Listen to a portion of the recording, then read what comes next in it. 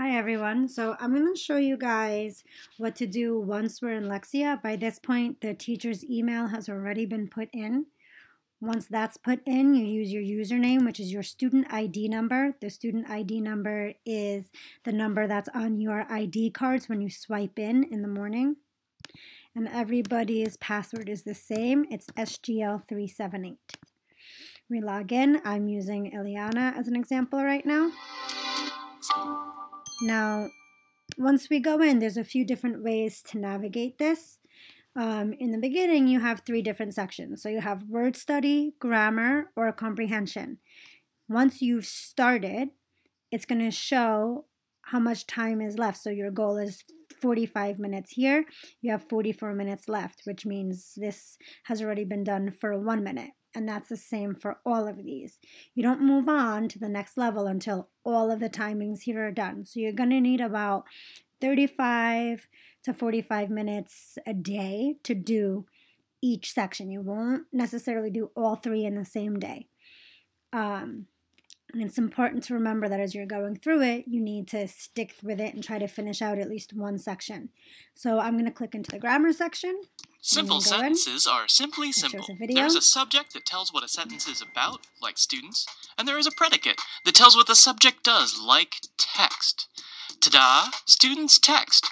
That's a simple sentence, the first of four sentence type. How simple is that?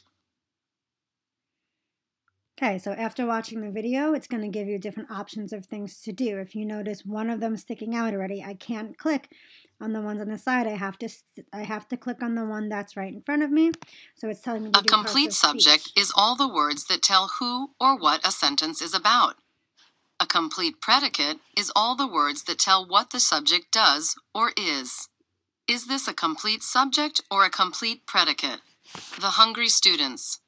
So based on what this is telling me, I have to decide in terms of this, is this a complete subject or a complete predicate? It's the who, which is the subject, the hungry students. So I'm going to click that. Okay. Stops before acting. Now, if you notice, every single time I successfully go through one, there's a line down here that's yellow.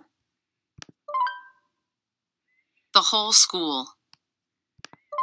Okay, something. All the teachers. Something to keep in mind if you log out before this yellow goes all the way to the end, it's like you never did it. So, what you need to make sure you do is you need to finish through one completely. But the yellows, or whatever color, sometimes it's green, you have two bars. The bar here tells you how much you have left to go until you add another bar down here. So remember, it was talking about how you needed 45 minutes to finish out a particular section. This blue part down here is the one that you're trying to get all the way to the end. This yellow part here, again, if you sign out before this yellow part gets all the way to the end, it's like you never did the work in the first place. So do not exit before that yellow mark goes all the way to the end. Watch what happens. I'll do the next few. So all the teachers, complete subject. Eat at the cafe. Complete predicate. Write the answers. Complete predicate. And if you notice Sweet. up here, these numbers are going. That means I got a runner runs a mile. Sorry, that means I got a certain amount correct, so I'm on a streak. Now it goes to the next part. I need to separate this, right? You notice now the line is green. A runner runs a mile. So now I'm separating my The quiet kitten purrs softly.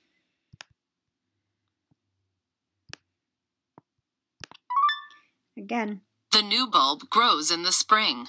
Now you're watching this green line, this green line on the top. If I exit before this green line gets to here and I get a new one down here, it's like I never did it. So I need to not leave until this mark goes all the way to the end.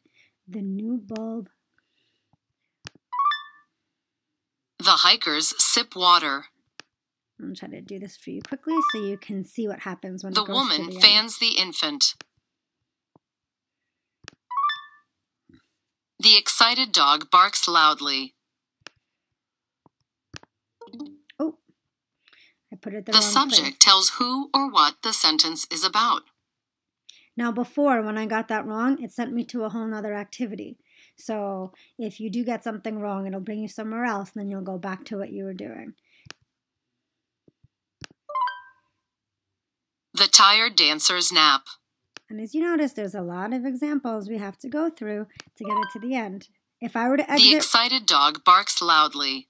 If I were to exit right now, right as it was close to this, when I come back in, I'm going to have to start all over again as if I never did it. So remember, I know I said it several times, but you do not want to X out of this until you've gone at least all the way to the end for this part over here. Well done.